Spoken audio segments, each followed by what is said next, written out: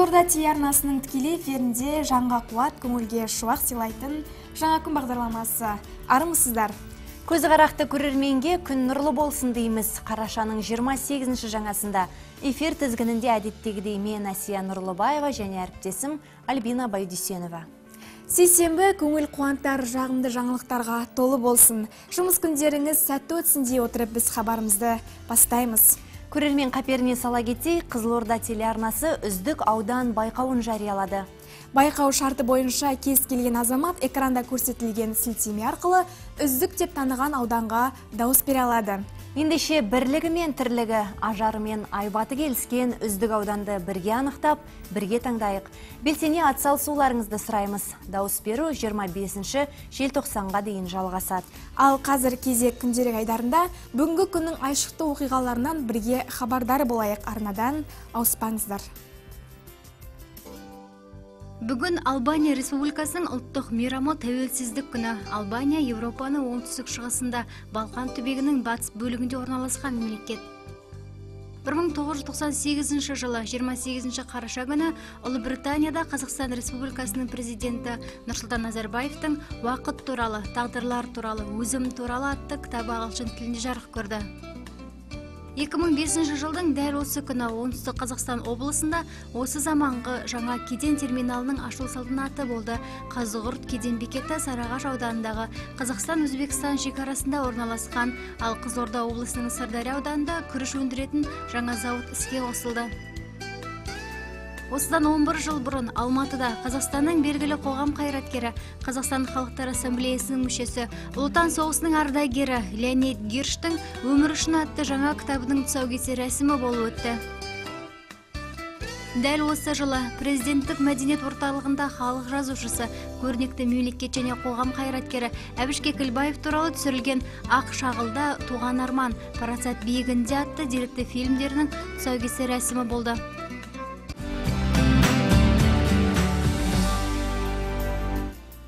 Биыл елімізді мекен еткен Корей ұлтының Қазақстанға қоныс аударғанына 80 жыл. Сол уақыттан бері корейлерден бірнеше ұрпақ тарап, бүгінде олар ыстық ықыласпен аса мейірбандылық танытып, бауырына басқан қазақ жұртына қазақ елі мен жеріне адал қызмет етіп жүрген ел азаматтар екендігін айта кеткен жөн. Корей ұлты ежелден өзінің еңбекқорлығымен табандылығымен танылған халық. Құнарлы қазақ топырағында қазақстан жақсылық көрген бауырларымыз тамырын тереңге жіберіп мәуелі бәйтерекке айналды. Олар бүгінде еліміздің саяси экономикалық тұрақтылығы мен демократиялық дамуына айрықша үлес қосып келеді. Осы тұста қымбатты көрермен біз бүгінгі шығарылымымызда қазақстан кәрістер ассоциациясы төңірегінде әңгіме өрбітетін боламыз. Сәлден соң студиямыздың төрінде қазақстан кәрістер қауымдастығы облыстық филиалы төрайымының орынбасары еурекем қонақта болады. Байланыс телефонымыз қосулы әдеттегідей жиырма жеті тоқсан жиырма қала коды жетпіс екі қырық екі. Ал қазір бағдарламамызды қараша айының 28 жаңасына арналған астрологтар болжамы жалғайды, арнада жұлдыз жорамалайдары. Тоқта денсаулығыңызға көп көңіл бөлгеніңіз жөн. Денсаулыққа пайдалы жаттығуларды жиі жасаңыз жаңа өзгерістерді қабылдауға қорықпаңыз. Торпақ бүгін сүйіктіңізбен қарым қатынасыңыздың жақсарғанын түсінесіз. Сүйіктіңізге бостандық беріп барлық жауапкершіліктен босатыңыз. Егіздер жұлдыздар алаңсыз жүріп көңіл көтеретін той думандарға баруға кеңес береді. Болмашы нәрсеге ашулана беруіңізді қойыңыз. Шаян белсенді болуға тырысыңыз. Міндетті түрде жолыңыз болады. Қай жерде болмасын сөз таластырудан аулақ болыңыз. Арыстан отбасылы арыстандар дәл қазір отбасылық өмірде жіберген қателіктермен жұмыс істегеніңіз жөн. Бикеш көпшіліктің көзайымына айналу үшін өзіңізді өзгертпесеңіз де болады. Батыл болып шешімді дұрыс қабылдаңыз. Таразы. Дәл қазір достарыңыз бен жақындарыңыздың қылықтары оғаш болып көрінеді. Алайда төзімділігіңіздің арқасында көп жетістікке жетесіз. Саршаян. Өткен өміріңіз жай естелік. Қазіргі өміріңіз жарқын болашағыңыз екенін естен шығармаңыз. Мерген қалай болса да туған туыстарыңызбен қарым қатынасты ретке келтіргеніңіз жөн. Қаржылық жағдайыңызға да көңіл бөліп қойған абзал. Тауешкі бұрыннан шешілмей жүрген мәселелердің басын ашуыңыз мүмкін. Суғиғыш өміріңізде кездейсоқ пайда болған жағдайларға мейлінше ақылға жүгініп өзіңізше шешім шығарыңыз. Ешкімнің пікіріне құлақ асудың қажеті жоқ. Балықтар. Сүйіктіңізге қайта ғашық боласыз. Осы уақытқа дейін ренжісіп жүрген болсаңыздар қайта табысасыздар. Бұл астрологтардың жұлдызнама белгілеріне арнаған болжамы болатын. Ал синоптиктер бүгінгі күнге ә, қандай болжам жасаған екен? Синоптиктердің болжауынша альбина бүгін өңірімізде күндіз 5 градус жылы болса ал түнде 4 градус нөлден төмен болады деп күтілуде. Күн райы қанша суыса да бір бірімізге деген жылулығымыз арта түссін. Көңіл көтеріңкі жүзіміз жайдары болсын деген ыстық ықыласымызбен сіздер үшін әсем ән тарту етеміз. Қабыл алыңыздар.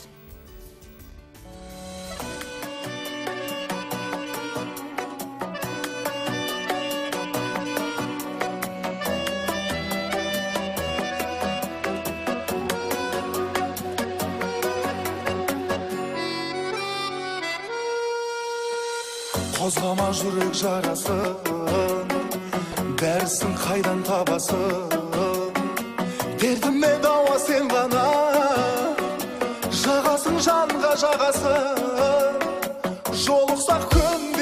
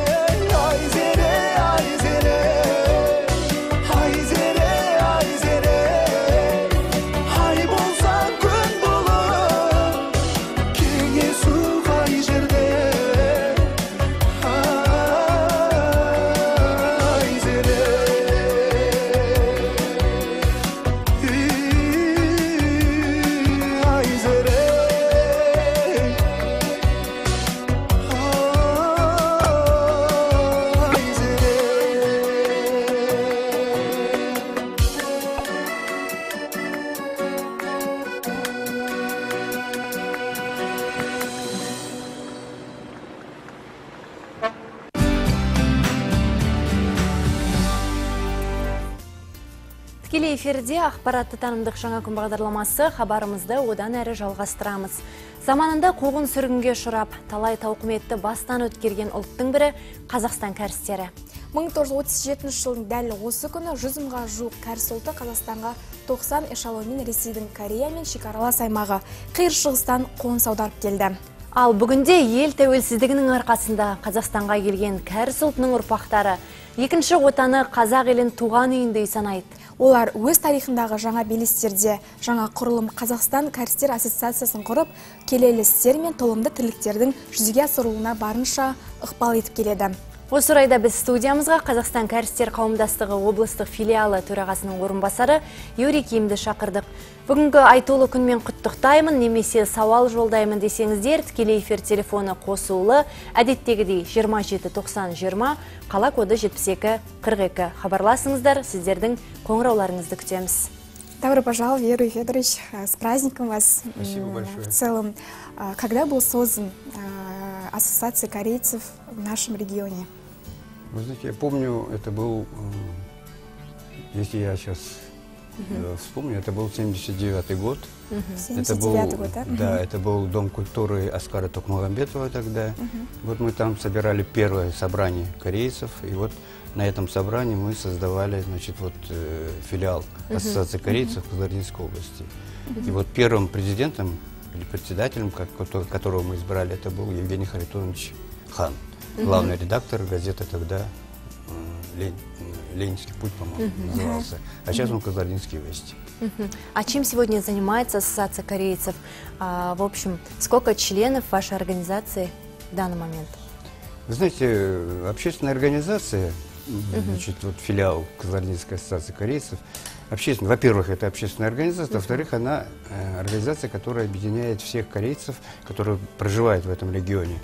Ясно, что это добровольная организация, ясно, что э, каждый желающий вступить в эту ассоциацию, значит, является членом ее. Но мы, в принципе, вот э, возглавляющие эту ассоциацию, будем так говорить, в Казардинской области, считаем, что все корейцы, проживающие Казардинской области, являются членом нашей ассоциации. Ну, главная задача, конечно, вот, во-первых, конечно, как все культурные э, это, этнические центры, значит, главная наша задача, это, значит, э, м, создать такие условия, чтобы люди не забывали те обычаи, традиции, которые существуют, Конечно. существовали у корейского народа. Это первое, конечно. Ну, наверное, все-таки это не самое главное, потому что все равно, ну, как бы там мы не хотели, как бы мы ни говорили, но мы все-таки меньшинство в этом, э, в нашем э, регионе. И понятно, что ассоциация старается на правах как общественная организация оказать какое-то содействие и предпринимателям, значит, оказать содействие и, значит, людям, которые работают на государственной службе. Значит, ну, э, конечно, мы стараемся помочь в первую очередь это детям, детям одаренным, детям, которые проявили талант или в учебе, или в какой в творчестве. Значит, вот стараемся, значит, ассоциация проводит различные конкурсы для детей, значит, песенные, танцевальные, отправляем на республиканские конкурсы. Значит, э, для этих, ну, интеллектуалов, будем так говорить, детей, тоже проводим здесь отбор, отправляем тоже вот на, значит, или в Алмату, или в Астану на э, различные там конкурсы, как лидер, допустим, 21 века, как у нас в Казахстане проводится. То есть вот такой обшир- обширный э, круг вопросов, касающий все отрасли э, жизни, наверное, человека, который есть. Стараемся то есть, помочь. Вот. Ясно, что мы не такой орган, который может повлиять на что, но как содействующий орган, это наша задача. Юрий Федорович, а, вот сколько корейцев проживает в нашем регионе? Вот когда мы И- создавали значит, наш филиал, у нас где-то было порядка 12 тысяч корейцев, которые входили в нашу ассоциацию. Сейчас эта цифра снизилась до 7,5 тысяч значит, членов, потому что, ну, по разным причинам люди выезжали, то есть количество где-то рождаемость сокращалась. То есть вот э, Обратно столько- множество да? причин, которые, ну, но все корейцы, которые проживают в Казардинской области, являются нашими членами. Ну, какие а, проводятся мероприятия для изучения языка, традиций Вы знаете, вот и это... обычаев корейского народа? Вообще-то вот для задачи вообще нашей ассоциации корейцев Казахстана, вообще это на всех съездах звучит, это значит изучение языка титульной нации, ну то есть в данном случае Да. казах- казахского языка, который, которым мы должны все владеть. Ясно, поэтому во, во всех филиалах, это не только касается, допустим, центров, то есть и даже вот в Казар- э, ну, особенно, конечно, касается наших южных регионов. Значит, Мы, значит, создаем, знаете, открываем курсы бесплатные по, по изучению казахского языка. То есть стараемся привить нашим детям, вот, корейцы национальности, чтобы они их не то что главной целью, но основной целью было изучение казахского языка. Потому что без изучения казахского языка, в принципе, ну, если так говорить открыто, нет будущего у любого ребенка, потому что он должен знать язык значит, государства, в котором он проживает. Я бы хотела спросить, а отмечаете ли вы корейские национальные праздники и знаменательные даты? Вы знаете, это, это наверное, Ну, это один из интересно. самых, да, Ага. один из самых, наверное, таких ну, значимых мероприятий. Да, ну, простых, наверное, вопросов, потому что, конечно, корейцы стараются провести все праздники, которые отмечает вообще вот корейский народ. Значит, ну, мы обязательно отмечаем, конечно, Новый год по лунному к- календарю. Ну, всегда приглашаем вот вас, Да. телерадиокомпанию, вы всегда там присутствуете. Потом у нас, значит, ну вот День памяти там жертв репрессий, вот такие мероприятия. То есть, ну, все мероприятия, касающиеся вот э, корейского народа, мы стараемся справить. Потом каждый вот, ну, вы все, мы уже в тесном содружестве живем уже мной 80 лет с вами, потому что вы наши обычаи тоже хорошо знаете. Вот у корейцев обязательно проводятся годики, вот э, 80, э, 60 лет, юбилеи. Вот стараемся вот эти значимые для семьи обязательно события отмечать.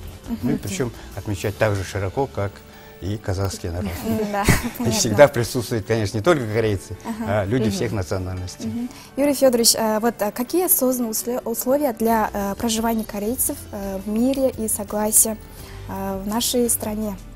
Вы знаете, эта тема, вообще-то вот если э, для меня она не новая, в общем, потому что я об этом всегда говорю, и всегда мои родители. Вот мы уже проживаем в Казахстане 80 лет. Да. Ну, На доброй земле казахов проживаем 80 лет.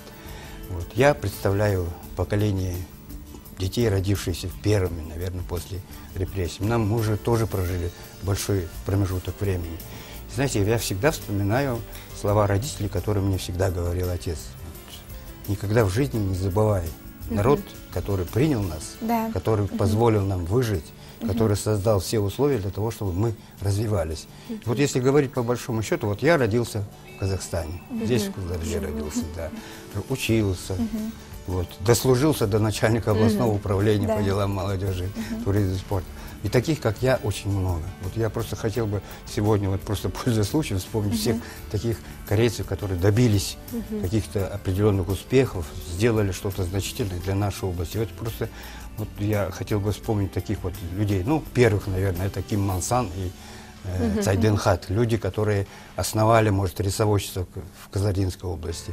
Люди, которые после них, я бы хотел вспомнить вот Хван, Константин Васильевич, он был, э, возглавлял Чилийский район, то есть был такая личность. Вот был такой Ким Дон Чер, такой специалист высокого класса. Вот в наши дни, вот я просто хотел бы вспомнить, вот Ким Ирина Леонидовна, которая была заместителем Акима области, это доктор экономических наук, там Лидия Алексеевна Ким, которая была значит, началь- а, начальником стата управления. То есть очень много таких ну, имен, значит, есть э, такие, которые были значимы для нашей области, которые сделали, и которые, конечно, старались сделать все от них зависящее для того, чтобы внести какой-то определенный вклад для развития нашей области. Я просто на этих примерах хотел бы сказать, вот за все время существования мы всегда чувствовали себя своими. Мы не чувствовали себя чужими. Нас оценивали, потому как мы работали. Поэтому на это самое главное. Поэтому вот, вот когда вот начинают вот такие вопросы, я немножко обижаюсь и говорю, почему я, почему вы мне такие вопросы задаете? Я родился в Казахстане, я казах, ну не казах, но я казахстанец. Вот, я, моя родина Казахстан. У меня нет другой родины, кроме Казахстана. У меня здесь дети родились. Мы не, не представляем другой родины, кроме Казахстана. Поэтому вот этот вопрос, конечно, он, с одной стороны, конечно, я понимаю, что он нужен, но с другой стороны, он немножко нас, ну, не то что обижает, но как-то задевает. Мы же свои, чего вы нам такие вопросы задаете? Ну, сегодня в честь сегодняшнего праздника в театре проводится торжественное мероприятие. Да. И вы какую э, на суд кызылординцев, э, что вы представите? Потом расскажите нам в целом э, о творческих коллективах. Барабанщиков, да? Да, с- да. Знаете, вот, ну, во-первых, мы вчера встретили генерального консула Кореи, который прилетел вот сюда. Значит, он приехал, прилетел специально на этот праздник. Значит, отмечает 80 лет проживания корейцев в Казахстане вся республика. Из Кореи, да? Ну, из Кореи, да. Значит, отмечает вся республика. То есть вначале от- отмечала Алмата, потом все регионы Казахстана отмечали. Ну, так получилось, что мы заключительные как будто проводим мероприятие. Ну, в честь, наверное, этого генеральный консул к нам приехал, чтобы поучаствовать в этом заключительном мероприятии. Ну, насколько мы хотели бы, значит, и думаем, что будет большой грандиозный праздничный концерт в нашем театре имени Бекижанова. На этом мероприятии будут, наверное, отмечаться люди, которые заслужили, чтобы их отметили, чем-то будут их награждать. Вот такие мероприятия, ну, проводились в честь вот этой большой даты. У нас здесь в Казахстане и конкурсы среди корейской молодежи, значит. Вот такие мероприятия, ну, как всегда, сопутствующие вот этому большому событию, вот такие какие-то различные мероприятия, которые подводили всех нас вот к, к этому большому празднику, который произойдет сегодня в театре Бибижанова. Значит, ну, возглавляет всю эту подготовку наш пред- председатель Елена Алексеевна, она там вся отдана, она Да. сейчас там. Вот, я думаю, что пройдет все благополучно, Конечно. и мы какой-то след в нашей жизни Владимирской области оставим. Ага. Расскажите нам э, о творческих коллективах корейцев. Э, К примеру, в городе все знают группы барабанщиков. Ну, это полная инициатива, конечно, Елены Алексеевны. Вот это человек, который ну, так беззаветно предан вот этому творчеству вообще. Она возглавляет, во-первых, школу искусств, это танцев Алекс. Эта школа и существует уже очень давно. Она, значит, еще с советских времен, и, наверное, уже больше там около 30 лет, наверное. Но, ну, такая знаменитая школа танцев, которую знает не только у нас вот в области, знает и в республике. Из Казахстана. Это танцевальный ансамбль. Это та- я и говорю про, про танцы. Вот, а вот этот, э, значит, ансамбль вот этих барабанщиков, ну, он возник сравнительно недавно, это года, наверное, 3-4. Вот, но это, я же говорю, вот инициатива Елены Алексеевны, она приложила максимум усилий для того, чтобы этот ансамбль был создан. Ездила в Корею специально за этими барабанами. Вот, э, ну, помимо того, что она приобрела барабан, она, конечно, естественно, там получила какой-то мастер-класс по поводу там всех и танцев, и песен. В общем, вот, э, вот таких основных творческих коллективов, это, наверное, все-таки вот этот э, ансамбль танцев Алекс и, значит, и такой этот ансамбль барабанщиков. Ну, самое, конечно, интересное, что в этих ансамблях не только корейцы, но там и э, ребята других национальностей. Вообще в этой школе, она- она школа такая интернациональная, поэтому все там привлекаются. Помимо этого, конечно, у нас есть, ну, как, наверное, везде, хор там бабушек, дедушек, которые Конечно. любят у нас или дети, или бабушки поют. Средний по- почему-то средний возраст у нас не очень вовлекается, или потому что они заняты чем-то другим. Но вот такие основные три ансамбля у нас существуют. Юрий Федорович, мы благодарим э, вам за беседу. Еще Э, раз с праздником. Да. Спасибо вам, спасибо вам за Спасибо. то, что вы пригласили. Я вообще, пользуясь случаем, конечно, еще раз бы хотел всех корейцев, Поздравить, ну не да. только корейцев, конечно, всех поздравить с этой большой датой. Ну, как будто бы непонятная дата. Ну, в принципе, это Ну, просто всё же 80 праздник, лет да. проживания. Но в то же время для нас праздник, потому что мы бра- благополучно и счастливо прожили эти годы. Всех с праздником. И казахскому народу еще раз от всей ди- корейской диаспоры большое спасибо в лице вас. И вам спасибо. Спасибо. До свидания. Всё.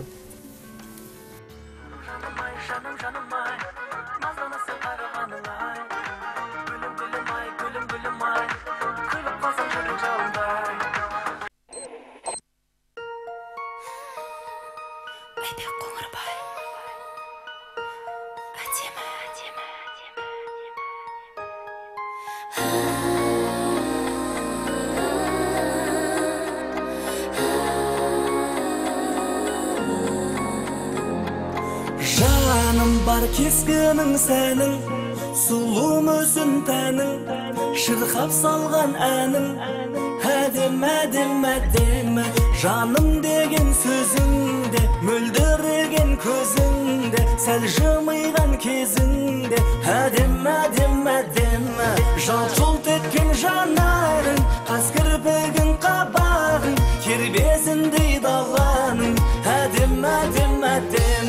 шашыңды да түйгенің үстіңе де кигенің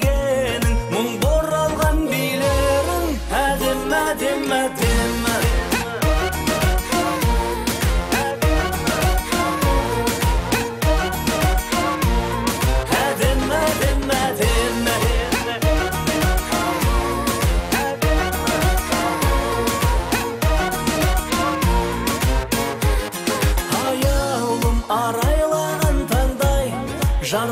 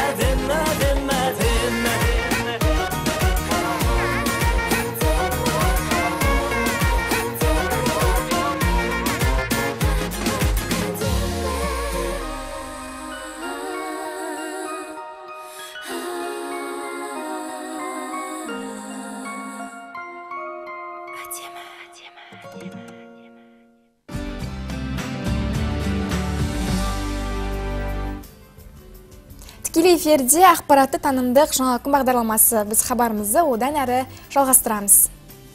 Күз қыс айлары жедел вирустық инфекциялардың адамдар арасында тез тарайтын әрі белең алатын шағы. Сол себепті суық тиген адамдардың да саны бұл мезгілдері күрт көбейеді. Қазіргі таңда тұмау мен жедел респираторлы вирусты инфекциялары біздің еліміздегі денсаулық сақтау саласындағы ең өзекті мәселелердің бірі болып табылады. Олардың үлесіне барлық жұқпалы аурулардың 90 пайызы тиесілі көрінеді. бұл эпидемия қараша мен наурыз айы аралығында өршитіндіктен арнайы сақтандырғыш екпе еккен дейді ә, дәрігерлер экранға зер салайық күздің салқын лебі сезіле бастаған кезде тұмау ауыртушылардың көбейіп кететіні баршамызға мәлім. Сондықтан одан сақтана білген жөн. Тұмау бұл жедел респираторлық вирустық инфекциялар тобына кіретін ауру түрі. Қазақстанда жыл сайын эпидемиологиялық кезеңде жедел респираторлы вирусты инфекциямен және тұмаумен 800 мыңнан 1 миллионға дейін адам ауырады. Белгілері баршаға аян. Себебі бұл аурумен ауырмаған бірде бір адам жоқ. Ең басында ағза әлсірейді де дене қызуының жоғарылауы мұрынның бітуі және жөтел сияқты белгілер пайда болады. Бұл вирус адам ағзасының иммунитетін төмендетеді. Инкубациялық кезең бірнеше сағаттан бастап 2-3 күнге дейін созылады. Тұмаудың жеңіл түрімен ауру ұзақтығы бір апта. Дене қызуының 40 градусқа дейін көтерілуі қалтырау әлсіздік көз бастың және тамақтың ауруы жөтелу мұрынның бітелуі тұмаудың негізгі белгілері болып табылады. Ал асқынған түріне құлақ тамақ мұрын аурулары сондай ақ созылмалы аурулардың өкпе бронх тарапынан қант диабеті және басқа да ауруларының өршуі жатады. Сілекей мен қақырық тамшыларында болатын тұмау вирусы белсенділігі төсек орнында жұмыс үстелінде екі аптаға жуық ал бөлме шаңында бес аптаға дейін сақтайды. Барлық дезинфекциялаушы құралдар тұмау вирусын тез жояды сондықтан бөлмелерді жиі желдетіп тұруды да ұмытпаған жөн.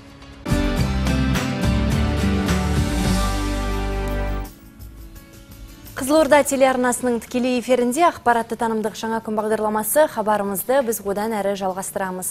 көпшілігіміз тістеріміздің маржандай тізіліп жарқырап тұрғанын қалаймыз сондықтан қанша түрлі әдістерді қолданып тістерімізді ағартқанымызбен біршама уақыттан соң аппақ тістеріміз сарғайып кетеді Мұндай сәтте еш қам жемеңіз, өйткені сары тістерден де құтылудың жолы бар.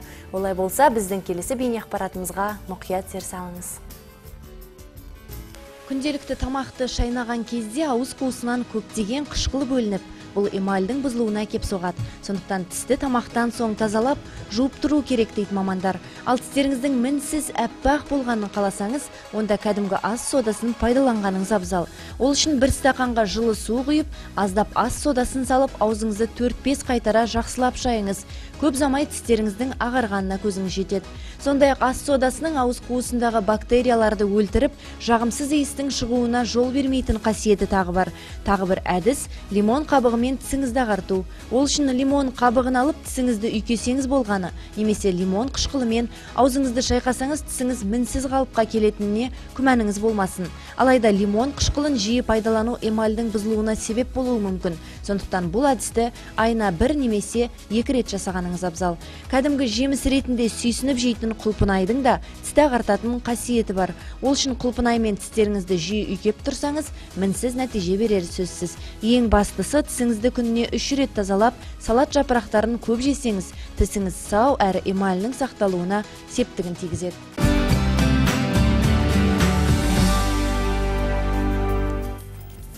Біз бағдарламамызды одан әрі жалғастырамыз. Қазақ халқының негізгі тіршілік көзі мал шаруашылығы. Ежелгі кәсіптен бүгінде іргесін бөлген жоқ. Дегенмен қорадағы төрт түлікке көз алартқандар азаяр емес. Жылдар бойы бағып қағып, баптап күткен малдарынан бір түнде керек десеңіз, бір-ақ сағатта айырылып қалу ауыл аймақ тұрғындарының ешбіріне оңай тимес анық. Статистикалық мәліметтерге сүйенер болсақ, жыл басынан бері аймақта 480-нен астам мал қолды болған. Оңай әрі мол олжаға батамын деп ұрлыққа барғандар қанша іздерін суытып, жасырынып баққанымен құқық қорғау органдары қызметкерлерінен ешқайда қашып құтыла алмасы анық. Сондықтан біз бүгін өзекті мәселеге айналып отырған мал ұрлығына қатысты біраз мән жайларды анықтау мақсатында сәлден соң облыстық прокуратура басқарма бастығының орынбасары Нұркен Тұрғанбаймен сұхбаттасатын боламыз. Тақырып аясында сізді де мазалаған сауалдар болса, бізбен байланысқа шығуларыңызға рұқсат, тікелей эфир телефоны 279020 қала коды 72 42 ал әзірге арнада әсемін сәннен соң қайта қауышатын боламыз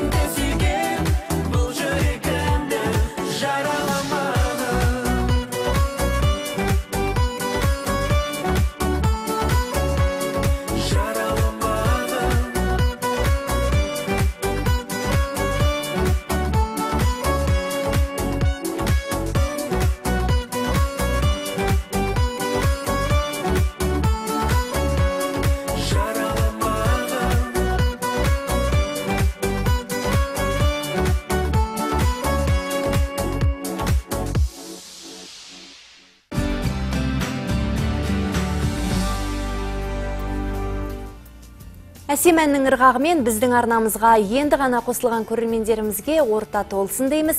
Құрметті көрермен өздеріңізге уәде еткеніміздей.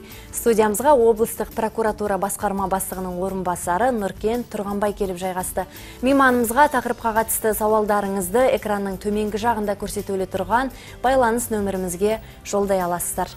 Студиямызға қош келдіңіз нұркен мырза. Жалпы бүгінгі таңда осы облысымызда бұл мал ұрлығы азаяр емес бүгінгі таңда бұл өзекті аймақ тұрғындарын алаңдатып отырған өзекті мәселеге айналды десек те болады. Енді жалпы жыл басынан бері аймақта 480-нен астам осындай мал ұрлығымен тіркелген екен. Бұндай қылмыстың жиі орын алуына себеп неде? Осыған тоқталсаңыз. Енді ең бастысы жаңа өзіңіз айттыңыз мал ұрлығы деген біздің енді көкейкесті мәселе. Бұл енді бұл дүниежүзілік дағдарыс кезінде ауыл тұрғындарының өзінің бағып отқан малынан айырылып қалу деген мәселе ол өте олар үшін ауыр тиеді. Әрине ауылдық жерде онсызда да жағдай ы, жақсы емес жұмыссыздық деген басқа да мәселелер бар. Ы, осы күнкөріс мал бір мал сол малдан айырылған жағдайда өте ауыр болады. Бұның енді басты себебі ең бірінші себебі бұл енді әрине қаржы жағдайы.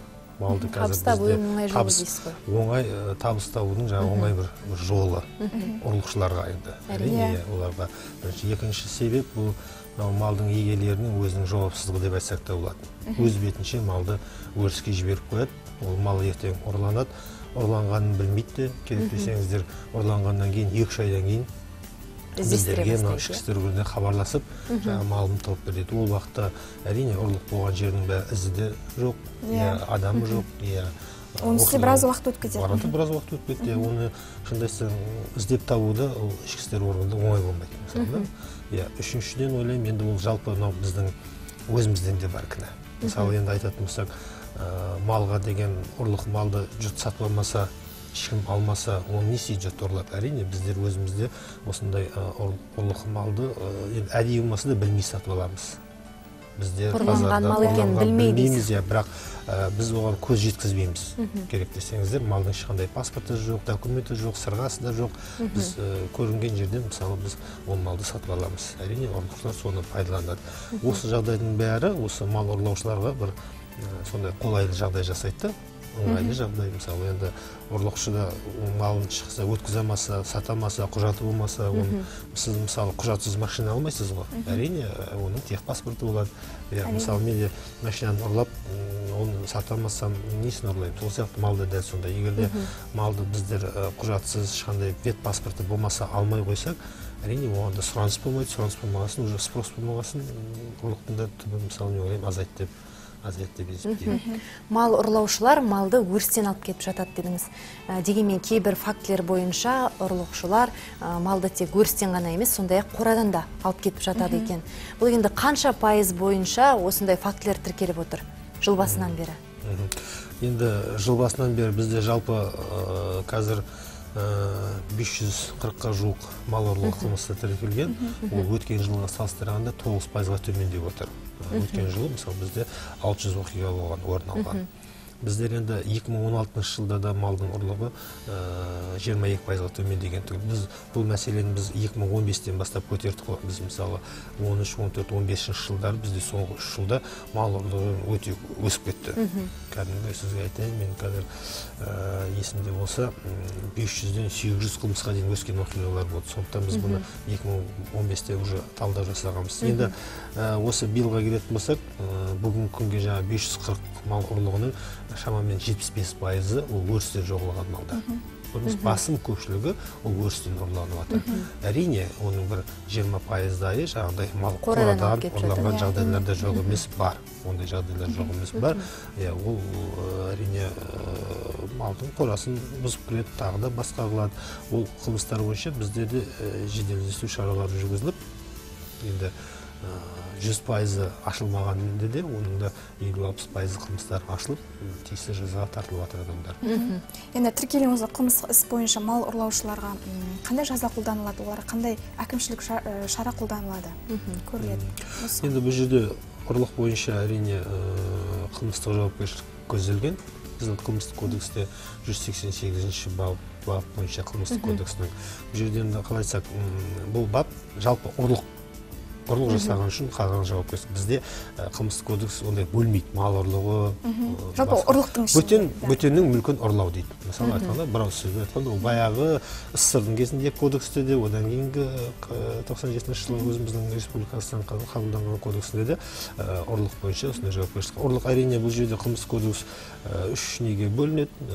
Ұрлық дейді жаңағы сосын егер де келтірілген шығынға байланысты. Мысалға ә, аз болса шығын ол кезде орташа жауапкершілік егер де ауыр ә, үлкен жаңағындай крупный ущерб иә. иә қомақты шығын келтірсе ол кезде ол ауыр қылмыс болып есептеледі ол кезде жазасы жаңағы бес жылдан он жылға дейін жауапкершілік қаралған үш жылдан жеті жылға дейін екі жылдан бес жылға дейін. Қылмыс деп бұл санатына қарай ғой енді. Ә, кішігірім қылмыс дейді небольшой тяжесть орташа қылмыс ауыр қылмыс и және аса ауыр қылмыс деп енді осыған дейін осы мал ұрлаушыларға арнайы жаза қолданды ма негізі осы уақытта? Әрине енді мал ұрлаушылар бойынша ә, ол қылмыс ашылып қылмысы толық дәлелденген жағдайда іс материалдардың бәрі сотқа жолданады. Ә, соттың үкіміменен Тиісті тиісті жазасын алады иә. Кей жағдайда жаңағы ауыр қылмыс болған жағдайда мысалы қажет болса бас бостандығынан айыру жазасына дейін ә, сотталып жатқандар бар бірақ енді мынандай да жағдай бар. Если қылмыс орташа санатында болса ол ә, малдың егесіне келтірілген шығынды өтеп жатса иә оған ә, малдың егесі кешірім берген жағдайда ол қылмыстық іс бір біріне татуласуына байланысты иә? ә, өндірістен қысқартылады тоқтатылады осы орайда мен сұрағым келіп отырғаны қайтқан малда береке бар дейді ғой қазақ. Иә. жалпы осындай қылмыстық іс анықталған жағдайда мал ұрлаушылардан ә, табылған мал ол иесіне қайтарылып беріледі ме? Немесе жаңа өзіңіз айтқандай шығыны өтеледі ме сол малдың? Енді әрине енді ә, егер де ұрланған малдың өзі табылып жатса малдың егес, егесіне қайтарылады. Ә, егер де ол уақытта мал егер де басқа біреуге сатылып кетіп или тағы да басқа да Иә. жазатайым жағдайлар болған жағдайда оның ә, малдың егесі өзінің айтқан құны өтеледі. Енді ол көп жағдайда ұрлаған адамға да байланысты енді Төлеу, төлемеуі дейсіз ғой, иә.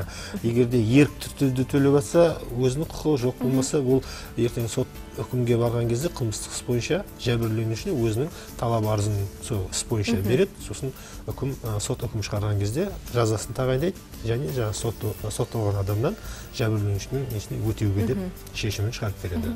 Мырза Сәйкесінше сосын сол шешімді орындаймыз. Түсінікті. Осы мал ұрлығының алдын алуға және осы қылмыс қылмыстардың ізін суытпай ашуға бағытталған жұмыстар турасында айта тұрсаңыз. Енді мен жаңа айттым он бесінші жылы біз бұл мәселені бір көтергенбіз сол Иә. кезде біз бір мал ұрлығына қарсы іс қимыл бір жобасын үлкен жобасын әзірлегенбіз. Оған енді облыс әкімдігімен бірлесіп ә, ішкі істер департаменті бар. Енді айта кететініміз ол жерде үлкен іс шаралар жоспарын жасадық. Ә, мен айттым ғой бірінші кезекте мал ұрлығы себебі жаңағы малды бізде ә, бейберекет сату. Мысалы керек десеңіз қазір үйіне объявление беріп қояды. Ол іске кірсеңіз де Яғни бизнеске айналдырған дейсіз, иә? оны заң бойынша негізі арнайы белгіленген орында сату мал базарларда. Мал базар өзінің рұқсат қағазы болу керек. Ол мал базар деп арнайы аталу керек. Ол өзінің санитарлық ветерин- ветеринариялық талаптарға сәйкес болу керек ол базар. Жайдан жай малды былай сатуға болмайды. Бірақ өкінішке орай бізде ондай мал базардар тек қызылорда қаласы мен шиелі ауданында ғана арнайы тіркелген мал басқа елді мекенде мысалы мал базар жоқ қалған мынау қармақшы арал қазалы елді мекендерде базар, емес.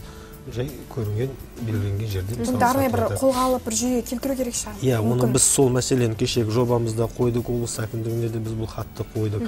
Енді қосымша мысалы сол жобаның аясында шиелі ауданында тағы бір жаңадан мал базар ашылды. И арал мен жалағашта мал базарға ашуға мынандай жерін белгілеп қазір ә, бір шаруа қожалықтар уже мал базар құрылысын бастады. Иә, нұркен мырза енді жалпы осы мал базарларында арнайы бейнекамера орнатылған ба? Бұл қаншалықты сіздердің тараптарыңыздан қолға алынған? Ол енді ә, әрине мал базардың егесі жеке кәсіпкер. Ә, біз оған ондай міндет қоя алмаймыз. Өзінің талабы бірақ біздер ә, кеше мынау ауыл шаруашылық басқармасы бар. Солар кәсіпкерлермен осындай меморандумға отырып осындай э, бейне бақылауды орнату мәселесі қойды. Сосын бір мәселе мал базарлар бізде түнгі уақытта істейтін түгел иә түнгі үштен мысалы азанғы алтыға дейін әрине қараңғы уақытта ол уақытта иә, ұрлық қарлық көбейе түседі ғой. ұрлыққа бір қолайлы жағдай. Иә, бізде ол мәселені кеше кәсіпкерлермен кездесу барысында ұсындық. Ә, азанғы уақытқа көшірейік ең болмаса таңғы алтыдан тоғызға дейін ба мысалға деймін да енді сондай мәселе қазір. Жатыр. тұрсақ бізге хабарласқан көрерменіміз бар екен. Тыңдап көрсек сәлеметсіз бе? Біз тыңдап отырмыз. Қайырлы күн. Сөйлеңіз көрермен. Алло. Сәлеметсіз бе? Мына қызылорда қаласының тұрғыны ғой. Мына ит ұрлағандарға қандай жаза қолданады екен а? Рахмет сауалыңызға. Ә, мал ұрлығымен мен қатар жаңа иә айттым үй жануарларында. Ә, ұрлау. бөтеннің мүлкін ұрлық деп жауап статья ол жерде қылмыстық кодексте бапта жаңағы мал неге бөлінбейді бөтеннің мүлкі. Егер де ит сіздің жануарыңыз болып мысалға.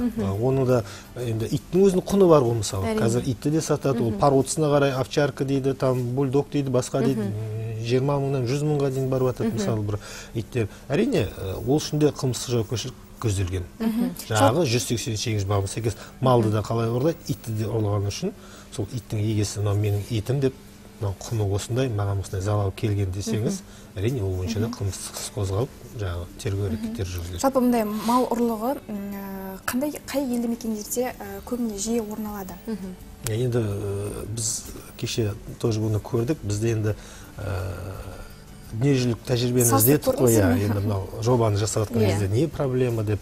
Енді бұл әрине европада кездеспейтін нәрсе екен бұл. Енді ол жақта өздері жерлері шағын. Иә малды ә, осындай баға тәртібі бар өзінің.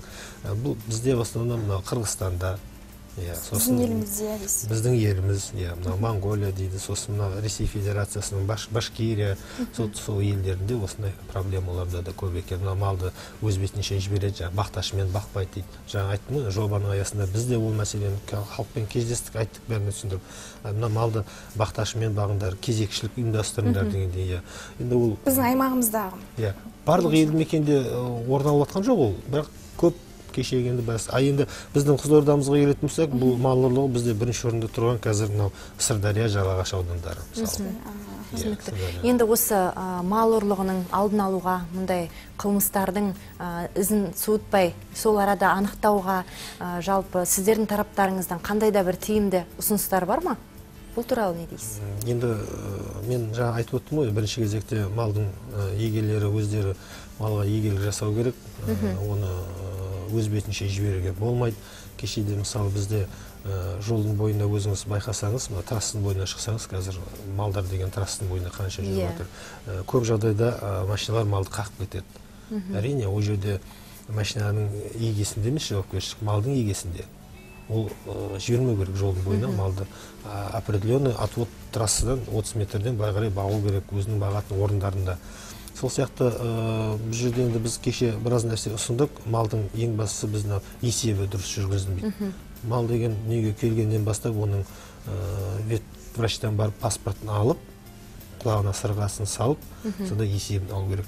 Ол паспорт алынған малға ертең болашақта мынау түрлі вакциналар бар ғой аурудан сақтайтын. Соның бәрі тегін енгізіледі.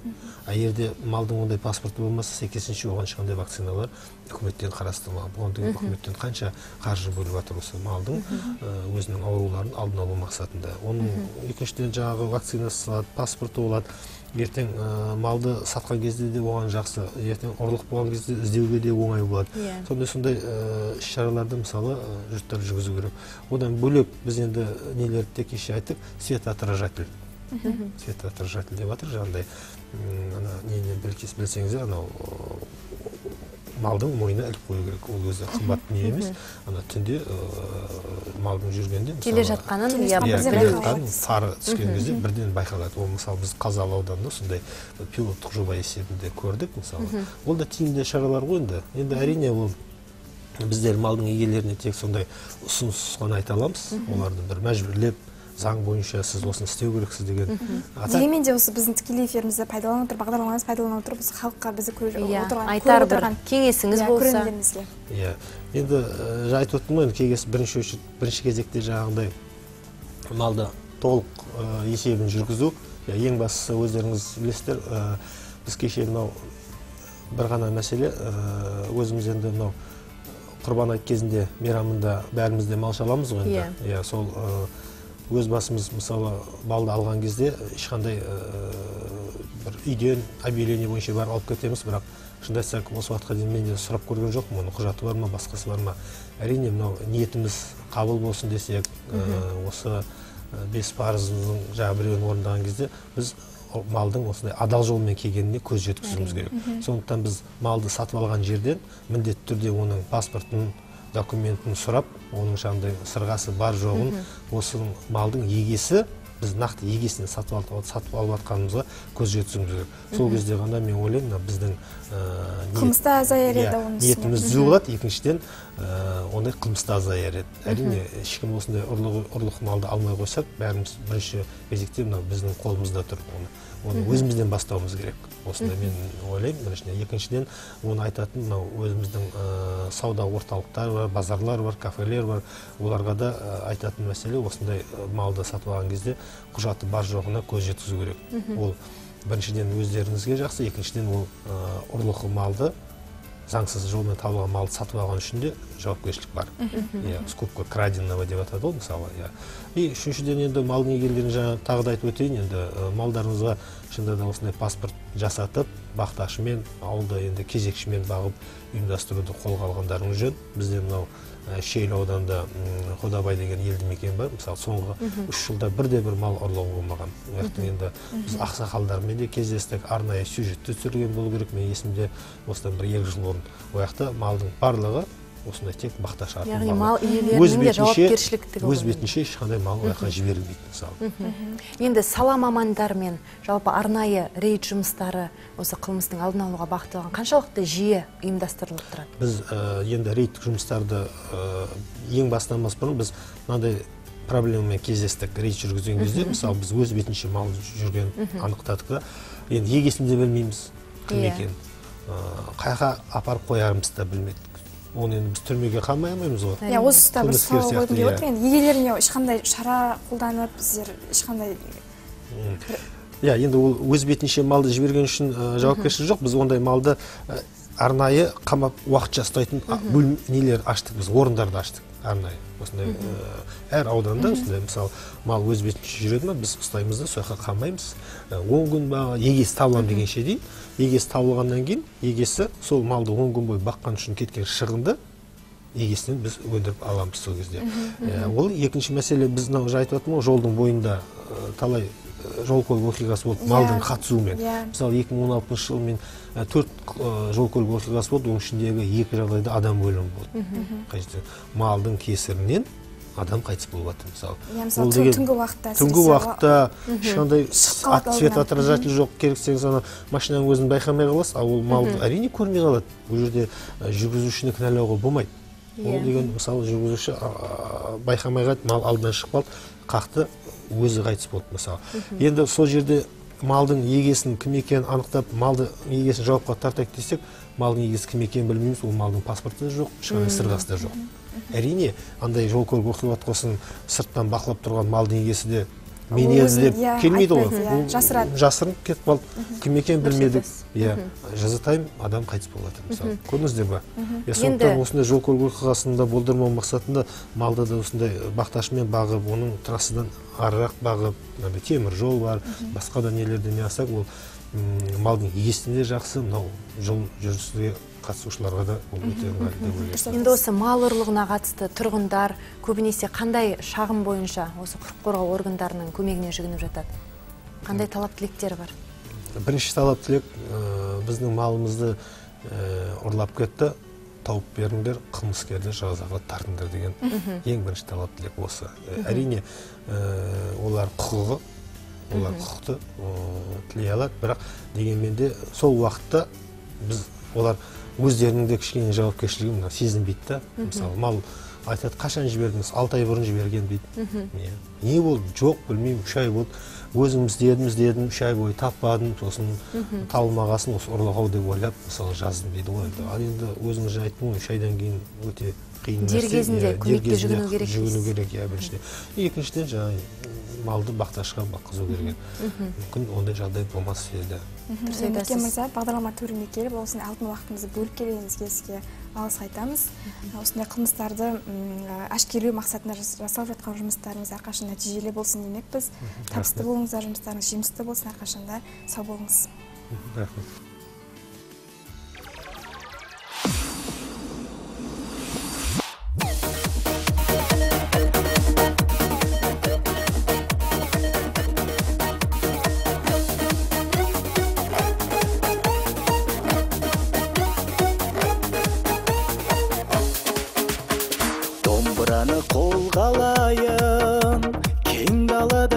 Шырқайын.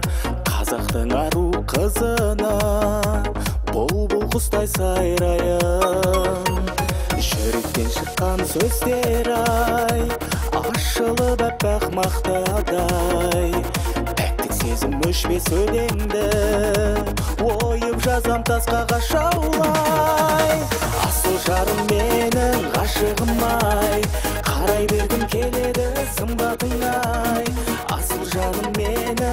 ғашығым ай жарқырайды сенің сымбатың ай асыл жаным менің ғашығым ай қарай бергім келеді сымбатың ай асыл жаным менің ғашығым ай жарқырайды сенің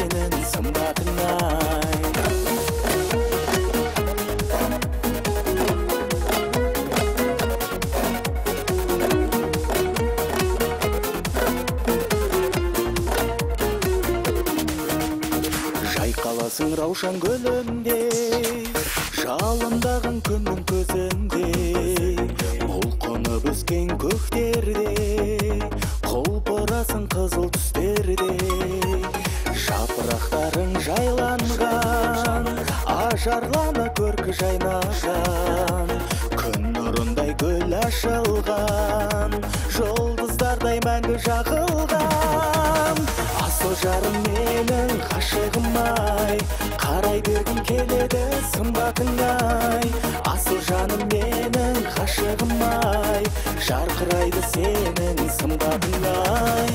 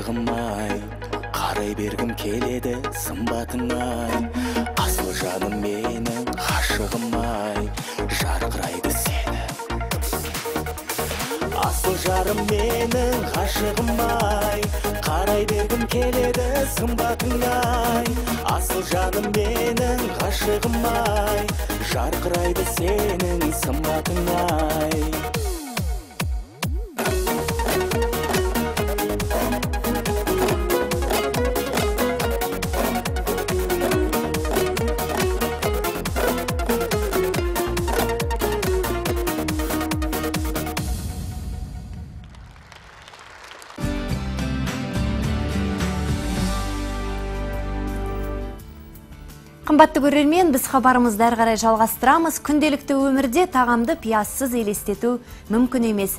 Кейбірі пиязды тағамға қолданса, бәз біреулер мүлдем ұнатпауы мүмкін. дегенмен оның тәбетіңізді ашып тағам дәмін кіргізетін қасиеті бар сондай ақ күзгі маусымда өршитін вирустық аурулардың алдын алуға да септігі мол Күнделікті рационыңызға пиязды қоссаңыз, дертіңізден айығып кетуіңізге көмектеседі. Яғни пиязды дәрумендердің қоймасы, табиғи антибиотик деуге әбден болады. олай болса пияздың пайдасы жайында толығырақ келесі бейнематериалымыздан бірге тамашалайық менің қолымда тұрған мына бір ғана пияз тағам дәмін кіргізумен қатар оның емдік қасиеті де бар. Оның құрамында түрлі минералды заттар органикалық қышқыл және көзді ашытатын фитоцин деген зат бар.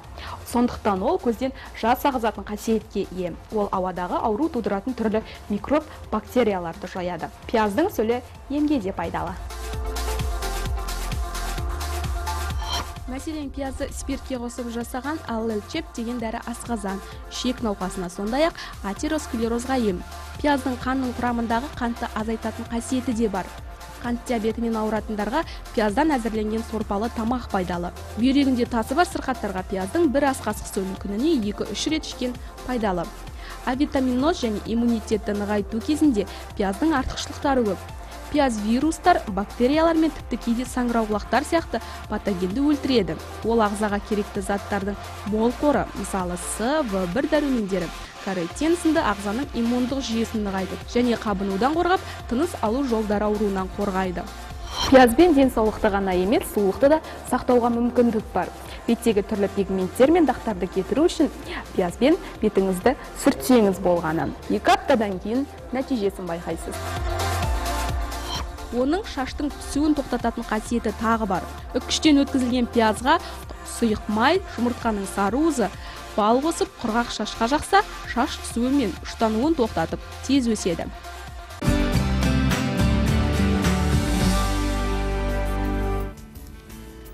Пікір күшті болса істе күшті болмақ. Бұл әлемге әйгілі драматург уильям шекспирдің қанатты сөзі. Иә әрбір істегі ең маңызды нәрсе жұмыс істегіңіз келмеген сәтті күштеп жеңу. Сондықтан әр бастаған істеріңіз бен шаруаларыңыз лайым нәтижелі берекелі жемісті болғай. Ал біз әдеттегідей өмірімізге өнеге боларлық тағылым мәні зор даналардың қанатты сөздер топтамасын назарларыңызға ұсынамыз. Арнадан ауыспаңыздар. Ең ұлы жеңіс өзіңді өзің жеңу. Өмір еңбексіз ештеңе бермейді. Молшылыққа белшеңнен батқың келе ме? Онда теңізге емес өз теріңе малшын. Асылды сонда ғана табасың. Егер одан таппасаң еш жерден таппайсың. Саналы да ерікті еңбек қана адамды бақытқа кенелтеді. Көп еңбек еткенге бақыт басын еді қайсың болсын өнуіне үш түрлі шарт бар. Ең әуелі ниет керек одан соң күш керек одан соң тәртіп керек. Егер ісім өнсін десең ретін тап. Ешқашанда үлкен қиыншылықтарсыз үлкен істер болмайды. Пікір күшті болса іс те күшті болмақ. Әрбір істегі ең маңызды нәрсе жұмыс істегіңіз келмеген сәтті күштеп жеңу.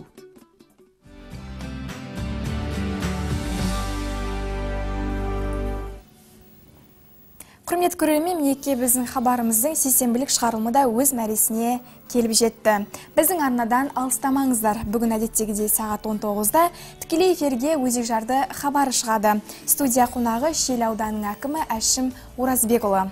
Аудан басшысына қояр сауалдарыңыз немесе бөлсер ойларыңыз болса біздің тікелей эфирдегі телефонымызға хабарласуларыңызға болады. 27 90 20 қала коды 72 42 біз сіздермен ертең сағат 14.00-де қайта қауышатын боламыз. Жаңа күнде жарқын жаңалықтармен жолыққанша күн жақсағайын